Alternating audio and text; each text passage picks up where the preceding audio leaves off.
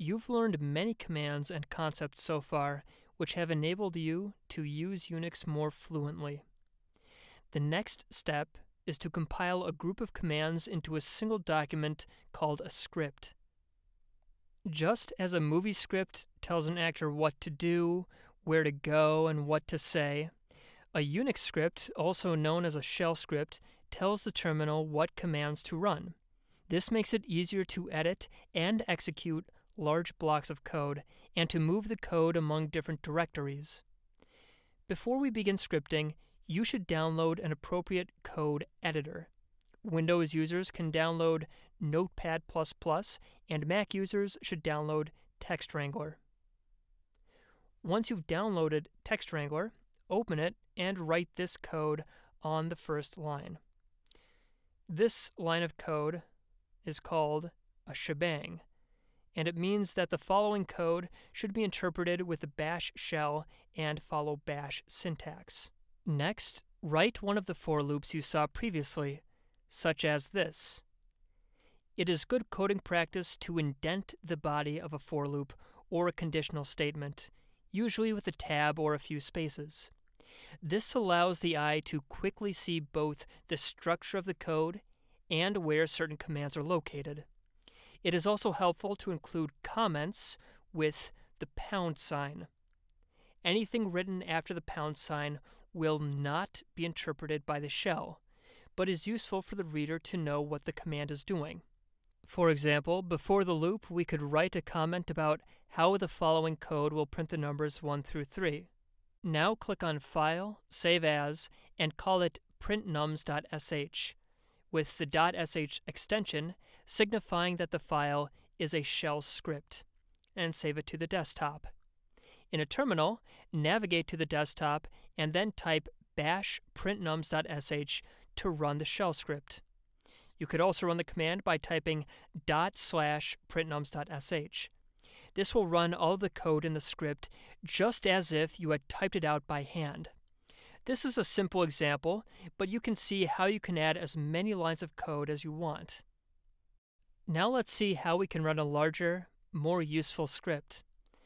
Go to this link and then click on Make FSLTimings.sh. Click on the Raw button to see the raw text. You can either right click anywhere on the page and save it as a script, or you can copy and paste the code into TextWrangler. Once you've done that, save it as makefsltimings.sh and put it in the flanker directory. Let's take a look at what this code does. Notice that we have a shebang indicating that the script is written in bash. We also have comments after each pound sign marking the major sections of code. The first block of code is a conditional statement that checks whether a file called subjlist exists. If it doesn't, then list each subject's directory and redirect those names into a file called subjectlist.txt. This brings up an important concept wildcards. There are two types of wildcards you will often use. The first is an asterisk, which looks for one or more characters, and the second is a question mark, which matches a single character. To see how this works, navigate to the flanker directory and then type makedir sub dash 100. If you type ls dash d sub dash asterisk, it will return every directory that starts with sub dash, whether it is sub 01 or sub 100. The asterisk wildcard doesn't discriminate whether the directory is 6 characters long or 600 it will match and return all of them, as long as they start with sub dash. The other type of wildcard is the question mark, which matches a single occurrence of any character. If you type ls d sub dash two question marks, it will only return directories with two integers after the dash. In other words, it will return sub 01 through sub 26, but not sub 100. The body of the for loop contains another thing that is new, a command called awk. Awk is a text processing command that prints columns from a text file.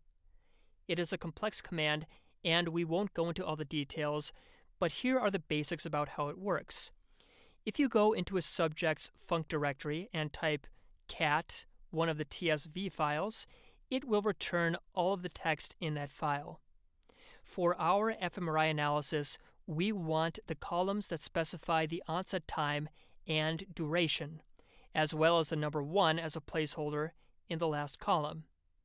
You can redirect the output of this command into the input for the awk command by using a vertical pipe. Then you can use conditional statements in awk to print the onset times for specific experimental conditions and redirect that output into a corresponding text file. This is discussed in more detail in the book chapter in the link below. Now navigate back to the directory containing all of the subjects, remove the sub 100 directory, and then run the script. It will take a few moments, but it will create timing files for all of your subjects. You can inspect them by going into each subject's func directory and use the cat command. Each one should have three columns, and they should look something like this. Scripts and wildcards give you more flexibility with your code and can save you countless hours of labor. Just imagine typing out each of the commands in our script for each subject. Later on, we'll use these scripts to automate the analysis of an entire dataset. But to do that, we'll need to learn about one more command for manipulating text, the sed command.